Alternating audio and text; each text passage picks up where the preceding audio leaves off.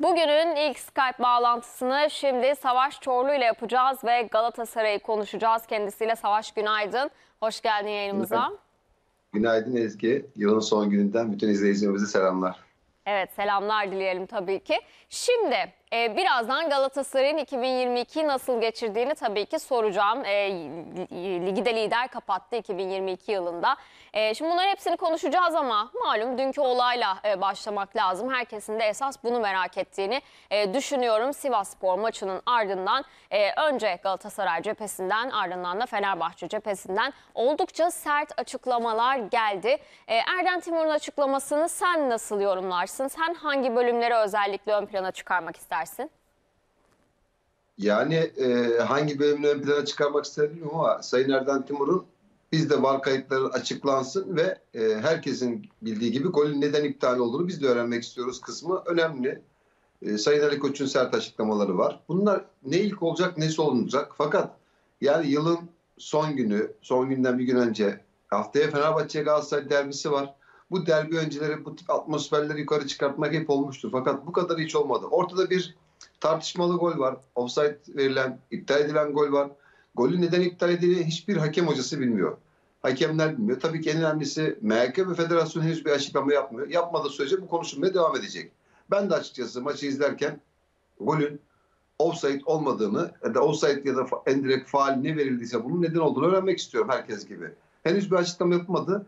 Bu tartışmaların öncesinde keşke Türkiye Futbol Federasyonu MHK bir açıklama yapsaydı ya da hakemin varla e, konuşmalarını açıklasaydı bunların hiçbirisi olmayacaktı. Şimdi 2023 yılının ilk derbisi haftaya oynanacak. Bence derbi öncesi bu açıklamaların benzerleri yine devam edecektir. Hakem açıklandığı zaman da devam edecektir. Bakalım hakem kim olacak? E, geçtiğimiz yıldan bu tarafa bana göre Süper Lig'in hakemleri hep tartışılmıştır ama lig devam ederken geçti bitmesine 3 ay kala hakemler görevlerden alındı. Tekrar ligin bitimine doğru görev verildi. Sonra tamamen hakemliği bırakan hakemler oldu. E, bu öyle devam ettiği sürece çok tartışmalar devam edecek. Sayın Ali Koç'un açıklamalarına gelince Ali Koç e, Futbol e, Federasyonu Başkanı değil tabii ki ama Kulüpler Birliği Başkanı. Kulüpler Birliği Başkanı olarak bir çağrıda bulunabilirdi. Bundan daha önce de yapılabilirdi. E, mesela sezon başında Beşiktaş'ta Zozef'in o yatsız yere gördüğü kırmızı kartı hep söylemiştim ben sevgili Ezgi. Dedim ki bu ligin bu sezon bana göre en skandal kararıdır. Hala en skandal kararı Ankara gücü maçında yaşanan o olayda Josef'in gördüğü kırmızı kart. Tamamen masum. Orada bir taraftarın sahaya atlaması, futbolcu hakemin üzerine gelirken müdahale etmesi, soyunma gördüğü kırmızı kartı iptal ettiremediniz. Zaman zaman Beşiktaş, zaman zaman Galatasaray, zaman zaman Fenerbahçe'ye haksızlığa aldığı zaman. Ben bunları hep söyledim. Çok rahatım.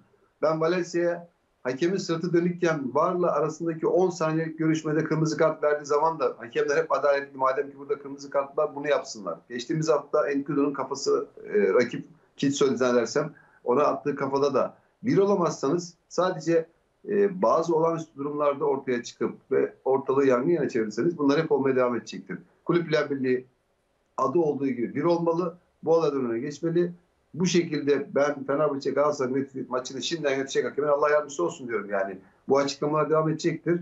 Ee, daha da sert olabilir. Ama herkesin merak ettiği gibi gerçekten de bir futbol sever olarak bırakalım yaptığım işi, yorumculuğu, gazeteciliği bir kenara. Ben bir futbol sever olarak bu golün neden iptal edildiğini merak ediyorum ve e, herhalde yeni yılda açıklayacaklar. Bugün de olmayacağına göre açıklanmalıdır. Herkesin bir merakı var. Teknik heyet, futbolcular, rakip takımlar bunu açıklarlarsa öğrenmiş oluruz. Onun dışında iki tarafın açıklamalarına da diyecek bir şey bulamıyorum. Çünkü e, kendilerine göre haklılık payları var yani. Peki şimdi istisnai bir karar var mı? Aslında e, karar çıkabilir mi daha doğrusu? Herkesin hakkındaki soru bu. E, hem Fenerbahçe hem de Galatasaray cephesinden yapılan ortak açıklama belki de gerçekten e, federasyondan, MHK'dan mutlaka bir açıklama e, yapılması gerektiğine dair. E, ortak noktada burada e, birleşiyorlar aslında. E, daha önce gördüğümüz diğer pozisyonlardan, diğer tartışmalı ve hatalı kararlardan e, farklı bir durum yaşıyoruz gerçekten Savaş. Kimse bu golün neden iptal edildiğini anlayamadı. Esas sıkıntı burada. Yani e, offside olduğunu bilsek offside mi değil mi tartışması yapacağız mesela. E, bunu da bilmediğimiz için e, bir e, yorumda bulunamıyoruz diyor bütün e, futbol kamuoyu. E, bu noktada sen bir istisnai karar gelmesini, çıkmasını bekler misin e, MHK'dan, federasyondan? Yani bu zamana kadar yapsalardı yaparlardı. Acaba bir soğutma mı olacak? ya da e, daha böyle geniş çaplı bir açıklama mı yapacaklar bilemiyorum. Fakat bu açıklama şimdiye kadar yapılması lazımdı. Hem Ali Koç'tan hem de e, Sayın Erdem Timur'un yaptığı açıklamalar aynı gün bir saat arayla yapılmıştı. Bundan da önce yapılması lazımdı bence. Tamam maç oynandı. Arasında 24 saat bile geçmemişti ama hakem raporları ortada. Hakemi dinliyorsunuz. MHK bu konuda her zaman olduğu bir sınıfta kalmıştır. Geçmiş dönemde de kaldı. Galatasaray bundan önce Konya Spor maçı, Alanya Spor maçı, bu sezon başında Antalya Spor maçı birçok konuda hatalar vardı. Ama bu kadar Türkiye'nin belki dünyanın da konuştuğu. Evet Dünya Kupası'nda Valencia'nın golüne benzetiliyor. Geçtiğimiz 3 e, üç sezon önce zannedersem Serinin attığı bir gol vardı. Alanya Spor maçında kalecinin son adam olduğu e, gösteriliyor ama bunlar açıklansın. O kalecinin arkasındaki adam offside'de sayılmamış olsa ben bunu e, futbol yorumlayan arkadaşlarımla mahallede orada burada konuştuğum arkadaşlarla pozisyon düzünü söylüyorum. O zaman hep korner tuşlarında, duran toplarda, en direkt servislerde herkes kalecinin arkasına geçer. O zaman offside'i bozar. Yani bu bunun sonu yok. Bunu bilmiyorum. Bu eğer böyle bir şey olmuş olsaydı bunu çok net açıklarlardı şimdiye kadar. Açıklayamadıkları bir şey var. Ben çok merak ediyorum. Bir pozisyonda bu kadar. Eski hakem, mevcut hakem. Ben şu anda ligimizde hakemlik yapan iki hakem hocasına sordum. Yani hakeme sordum.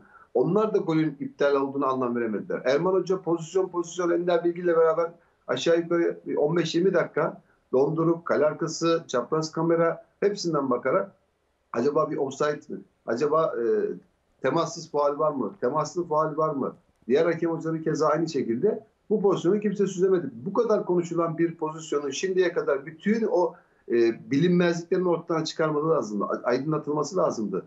Ben açıkçası Fenerbahçe Galatasaray maçı öncesi bir futbol sever olarak yine söylüyorum. Şu anda tabii ki Ankara gücüyle Galatasaray'ın Ankara gücü Fenerbahçe'nin Antalya Spor maçları var ama bu yeni yılın ilk güne beraber bu iki maç konuşulmayacak. Fenerbahçe Galatasaray maçının hakemi kim olacak? Nasıl olacak? Yani bu konuda bir artık birleşin. Şu anda biz yıllardır hakemlerin kötü olduğunu konuşuyorduk. Hakem yetişmiyor. Biz daha FIFA yeni kokartını almış hakemin bugünkü bu maçını eleştiriyoruz. Bundan sonra hangi psikolojiyle maça çıkacak? Çıkabilecek mi? Ee, rakiplerin Galatasaray maçına verilmemesi için belki de bir süre dinlenecek. Yani şu anda bunların bilinmesi lazım. Evet biz dinlendireceğiz. Dinlenmesi lazım. Şöyle bir pozisyon var. Bugün de açıklama gelmezse herhalde bundan sonra gelse de bir anlamı olmaz. Çünkü artık rakipler hani Galatasaray, Fenerbahçe diğer maçlara odaklanacak ve pazar günü derbi var. Yani bu sıkıntı süreçten çıkmak lazım. Artık futbol konuşmamız lazım. Konuşamıyoruz. Yıllardır söylüyoruz. Yıllardır tartışıyoruz. İnşallah hakem konuşmayız. Ama hakem konuşmaya devam ediyoruz.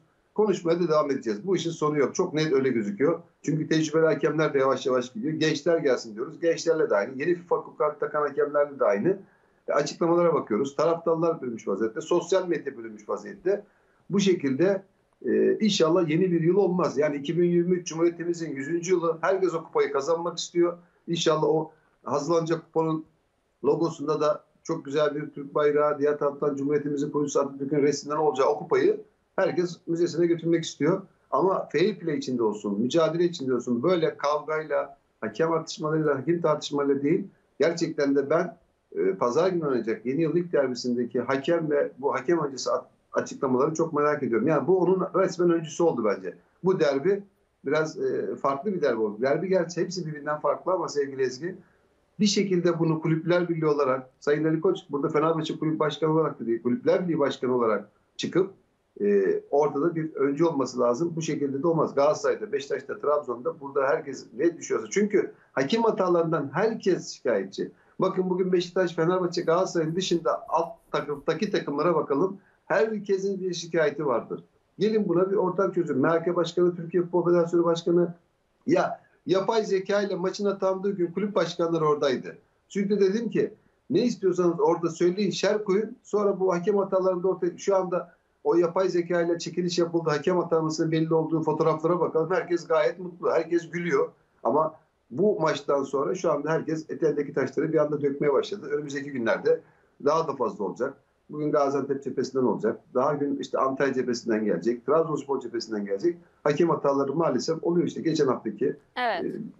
e, yaptığı hareket. Bundan sonra benzerleri de olacaktır. Savaş birkaç cümleyle soracağım sadece. Galatasaray 2022 yılını lider tamamladı e, dedik. Tabii 2023'e yansıması nasıl olacak merak ediliyor. Bu konuyla ilgili de senden birkaç cümle rica edeyim. Galatasaray gerçekten de e, 2022'de beklentinin üzerinde bir e, form ortaya koydu. puan cetveli olarak da baktığımız zaman Galatasaray'ın bana eğer yeni yıla girerken lider olsaydı mevcut kadro gecikmiş bir kadro, yeni teknik heyet, yeni ekip e, birçoğuyla geçen sezonu da 13. sırada bitirmiş bir Galatasaray olduğunu düşünürsek yaş ortalamasına da bakarsak Galatasaray'ın bugün Fenerbahçe'nin önünde lider durumda olması bana göre başarı. Bu başarıyı 2023 yılında da devam ettirmek isteyen bir Galatasaray var. Ocak ayını transfer dönemini bekleyen bir Galatasaray var. Ee, Türkiye Cumhuriyeti'nin 100. yılında şampiyonlukla taşlandırmak isteyen bir Galatasaray var. O yüzden ben şimdiden bütün takımlara başarılar diliyorum ama Galatasaray'ın bugün zirvede olması e, açıkçası bana şu elindeki mevcut kadroyla sürpriz oldu. Peki Savaş Çorlu çok çok teşekkürler yorumların için. Ailenle, sevdiklerine sana mutlu yıllar diliyorum. Seneye görüşürüz artık. İnşallah. Evet değerli izleyenler Savaş Çorlu ile Galatasaray'ı konuştuktan sonra şimdi devam edeceğiz ve geçeceğiz Trabzonspor'a. Trabzonspor'da da e, malumunuz hafta mağlubiyetle tamamlandı ve özellikle Bordo Mavililer şampiyon olduğu geçen sezonun epey gerisinde kaldı.